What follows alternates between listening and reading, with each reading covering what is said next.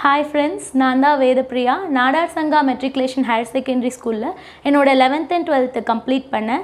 என்னோடய ஸ்கூலிங் என்னோட இந்த சக்ஸஸ்ஃபுல் ஜேர்னிக்கு நம்ம ஸ்கூலோட சப்போர்ட் அண்ட் ஹெல்ப் எவ்வளோ இருந்தது.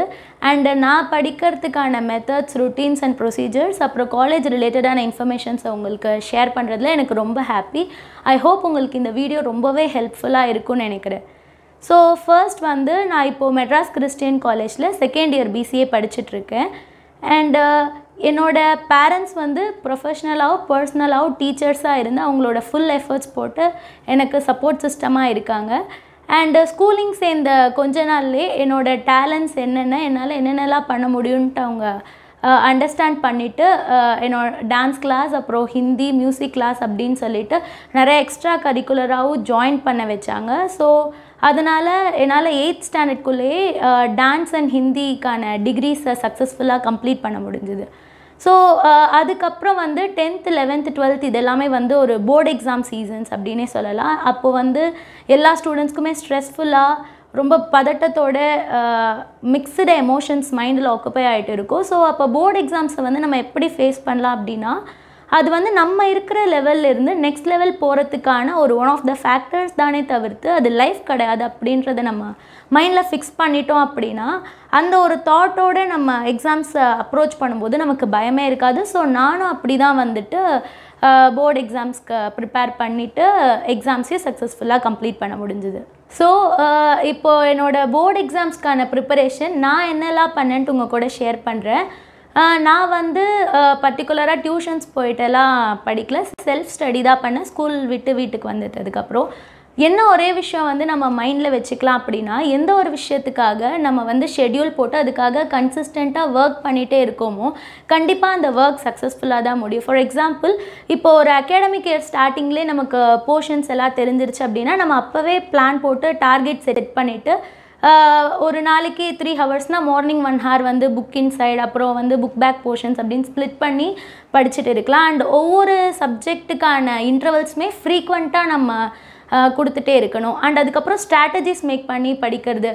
இப்போ ஒவ்வொரு சப்ஜெக்ட்லேயும் எது எது இம்பார்ட்டண்ட்டோ அதில் நம்ம ஸ்ட்ராங்காக இருக்கணும். இப்போது கம்ப்யூட்டர் சயின்ஸ்னால் கோடிங் ஃபிசிக்ஸ்னால் டெரிவேஷன்ஸ் அந்த மாதிரி. அண்ட் இதெல்லாம் தாண்டி இம்பார்ட்டண்ட்டாக நம்ம திரும்ப திரும்ப அதை ப்ராக்டிஸ் பண்ணும்போது ஆட்டோமேட்டிக்காக நம்ம பிரெயினில் அது ரெஜிஸ்டர் ஆகிடும் அண்டு uh, ரொம்பவே இம்பார்ட்டண்ட்டாக ரெண்டு விஷயம் இருக்குது என்ன அப்படின்னா நம்ம மைண்ட் அண்டு ஃபுட்டு நம்ம மைண்ட் வந்து நம்ம கான்சென்ட்ரேட்டடாக வச்சுக்கிறதுக்கு நம்ம ஒரு சாங் கேட்டுட்டோ மெடிடேட் பண்ணிட்டோ ஸ்பீச் பார்த்துட்டோ எது பண்ணால் நம்ம கான்சென்ட்ரேட்டடாக ஃபீல் ஆகுமோ அதை பண்ணிவிட்டு நம்ம படிக்க ஸ்டார்ட் பண்ணலாம். அண்ட் அந்த மாதிரி ஃபுட்டுன்னு எடுத்துக்கும் போது ஹெல்த்தியான டயட்டையும் நம்ம மெயின்டைன் பண்ணணும். ஸோ இதெல்லாம் தான் பர்டிகுலராக போர்டு எக்ஸாம்ஸ்க்காக நான் ப்ரிப்பரேஷன்ஸில் கான்ஷியஸாக இருக்கிற விஷயங்கள்.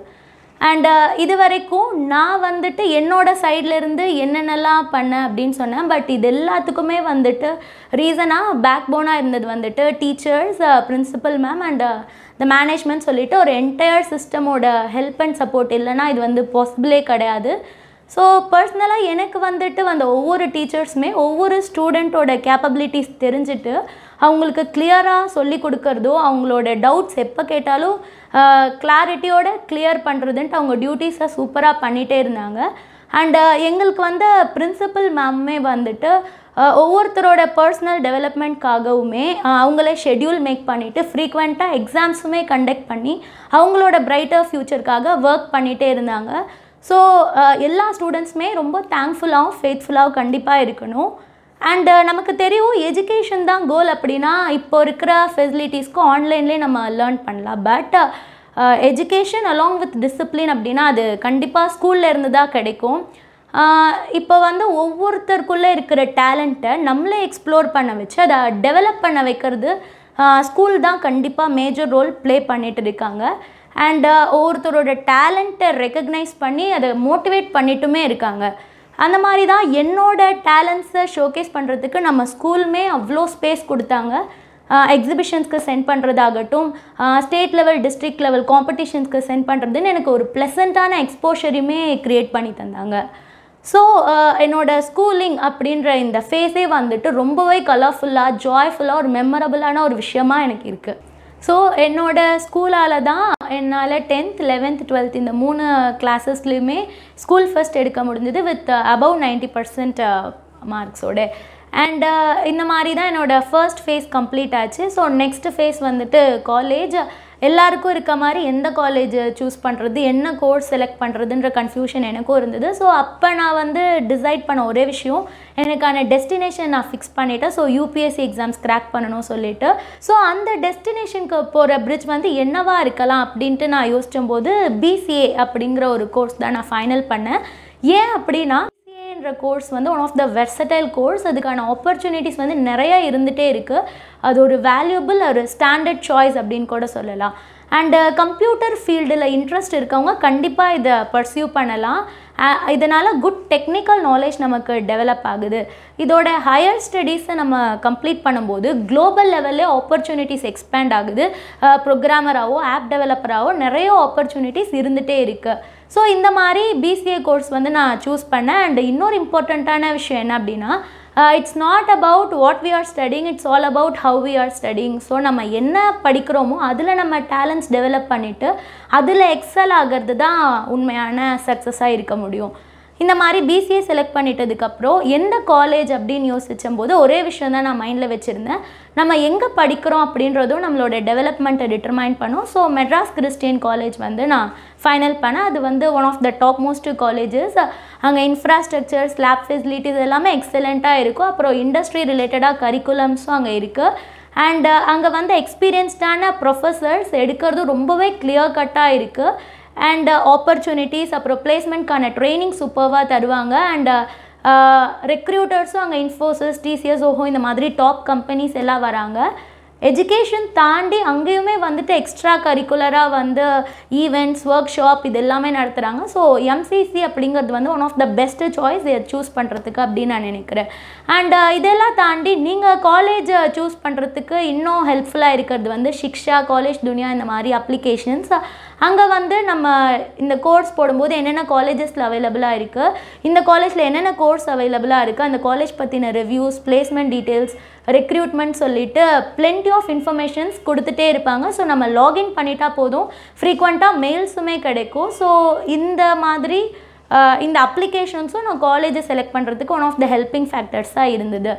ஸோ ஃபைனலாக ஒரு சக்ஸஸ்ஃபுல்லான லைஃபுக்கு நான் பர்சனலாக பிலீவ் அண்ட் ஃபாலோ பண்ணுறது வந்து சில விஷயங்கள் இருக்குது அது உங்கள் கூட ஷேர் பண்ணுறேன் ஃபர்ஸ்ட் செல்ஃப் கான்ஃபிடென்ஸ் தான் ரொம்பவே இம்பார்ட்டண்ட் நம்ம மேலே நம்ம கான்ஃபிடென்ஸ் தான் இம்பார்ட்டண்ட்டான விஷயம். செகண்ட் திங் என்ன அப்படின்னா நம்ம பிரெயினில் எவ்வளோ நாலேஜபிளான இன்ஃபர்மேஷன்ஸை ஃபீட் பண்ணுறோமோ அது இன்ஃபர்மேஷன் ரிலேட்டடாக தான் வேண்டர் ஆகும். ஸோ நெகட்டிவிட்டிஸால் கண்டிப்பாக நம்மளை பிரேக் பண்ணவே முடியாது.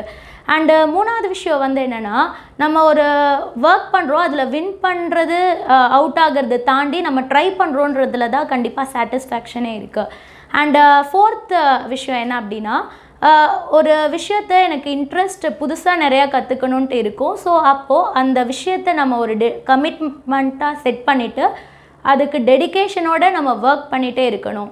அண்டு ஃபிஃப்த்து திங் வந்து என்னென்னா ஸ்டேயிங் பாசிட்டிவ் இந்த நெகட்டிவ் சுச்சுவேஷன் அப்படின்னு சொல்லுவாங்க. என்னை சுற்றி இருக்கிற பீப்புள் அண்ட் சரௌண்டிங்ஸை நான் எப்போவுமே பாசிட்டிவாக தான் வச்சுருப்பேன். ஸோ என்னோடய ஃபேமிலிஸ் அண்ட் ஃப்ரெண்ட்ஸ் ஆகட்டும் ஈவன் நான் வந்துட்டு இதை செய்ய முடியாதுன்னு நினைக்கும் போது கூட அவங்க யூ கேன் டூ இட் அப்படின்ட்டு அவ்வளோ பாசிட்டிவிட்டிஸ் கொடுக்கும்போது அடுத்த ஸ்டெப் என்னால் இன்னும் கான்ஃபிடெண்ட்டாக போக முடியுது. அண்ட் லாஸ்ட் இம்பார்ட்டன்ட் திங் என்ன அப்படின்னா நம்ம விக்ட்ரி நமக்கு எவ்வளோ இம்பார்ட்டண்ட்டோ அந்த மாதிரி நம்ம சுற்றி இருக்கிறவங்களோட விக்ட்ரிக்கு நம்ம ஹெல்ப்பும் பண்ணணும். அதே மாதிரி அவங்களோட விக்ட்ரியை செலப்ரேட்டும் பண்ணணும். அண்டு லாஸ்ட்டாக வந்து நம்ம என்ன தான் ஹார்ட் ஒர்க் பண்ணி ஒர்க் பண்ணால் கூட அது சில பேர் வந்து டிஸ்கரேஜ் பண்ணிட்டு தான் இருப்பாங்க. ஸோ நம்ம அதெல்லாம் மைண்டில் வச்சுக்காம நம்மளோட கோல் கண் முன்னாடி செட் பண்ணிவிட்டு அந்த ஜேர்னியை வந்து நம்ம பண்ணிகிட்டே இருந்தோம் அப்படின்னா கண்டிப்பாக அது வந்து ஒரு சக்ஸஸ்ஃபுல் டெஸ்டினேஷனை தான் ரீச் பண்ணும். நம்ம மைண்டில் வச்சுக்க வேண்டியது நம்மளோட எக்ஸ்பெக்டேஷன்ஸை நம்ம ஒர்க் சாட்டிஸ்ஃபை பண்ணுதா? அப்படின்னா கண்டிப்பாக நம்ம வின் பண்ணிடலாம். ஸோ நானும் சீக்கிரமாக வந்து ஐஏஎஸ் ஆகி இதே மாதிரி உங்கள் கூட பேசுவேன்னு நான் நம்புகிறேன் நீங்களும் வின் ஆகிறதுக்கு என்னோடய hearty wishes and thank you இந்த சக்ஸஸ் டாக்கில் பேசுகிறதுக்கு சான்ஸ் கொடுத்த ஸ்கூல் மேனேஜ்மெண்ட் பிரின்சிபல் மேம் அப்புறம் என்டையர் டீச்சர்ஸ்க்கு என்னோடய ஹார்ட்ஃபுல் தேங்க்ஸ்